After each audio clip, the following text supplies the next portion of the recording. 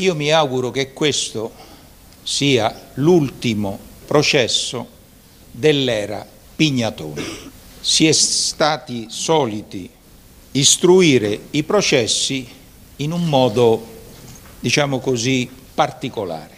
Grande richiamo mediatico, addirittura ispirato dalla Procura della Repubblica, indagini fatte in forma ossessiva, in qualche caso addirittura con profili intimidatori, abuso del ricorso alla intercettazione telefonica, voi giudici togati e soprattutto voi giudici popolari sottoposti ad un bombardamento mediatico, non mi venite a dire che voi sarete impermeabili. C'è qualcuno anche tra i difensori che sia convinto che Cucchi non sia stato ucciso? Ma forse Cucchi è morto non è stato ucciso. I processi stalinisti partivano da un pregiudizio per pervenire, per trovare in ogni caso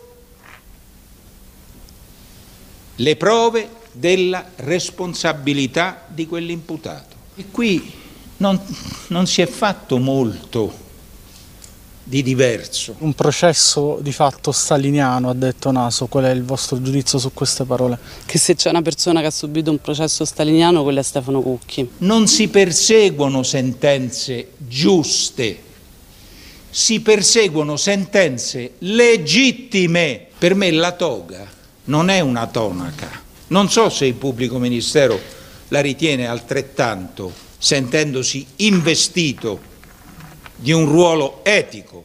Tutte queste perizie hanno parlato di morte improvvisa e accidentale. Qui nessuno si sogna di negare che Cucchi sia stato malmenato, ma il processo non, non è finalizzato a stabilire questo. Il processo è finalizzato a stabilire se in ragione di quelle percosse, Cucchi è morto. Un conto è rispondere di percosse o di lesioni volontarie, un conto è rispondere di omicidio preterintenzionale. Il pestaggio ormai direi che non c'è ombra di dubbio e, e, di quello Stefano è morto e tutto il resto sono parole vuote. Gli stessi medici legali citati da, eh, dall'avvocato di Mandolini hanno negato questo pestaggio, quindi già questo la dice lunga sull'autorevolezza di quelle perizie. Io non credo alla resipiscenza così tardiva di Francesco Tedesco, è una strategia interessata, frutto della ossessione che la anima, signor pubblico ministero, voler sostenere a tutti i costi le sue idee, portato per regalarle un libretto, Grandi miti greci, Narciso. Lei è un inquisitore nato, lei andrebbe bene per la Santa Inquisizione. C'ha un'opportunità, si faccia chiamare da Pignatone. Che cosa? Che cosa dobbiamo trarre dalla lettura di un verbale d'arresto,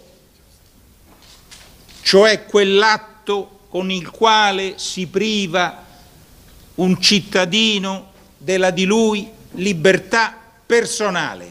Io e i miei genitori non possiamo tollerare che l'avvocato Naso oggi abbia trasformato questa udienza in un vero e proprio cabaret e soprattutto non possiamo tollerare la mancanza di rispetto nei confronti della, del PM, dottor Musaroi e della Procura.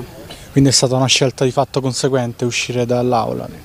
Ma assolutamente sì, non c'era nessun senso per restare lì dentro. Quel che è avvenuto a povero Stefano Cucchi purtroppo avviene molto, ma molto, ma molto, ma molto più frequentemente di quanto voi possiate immaginare.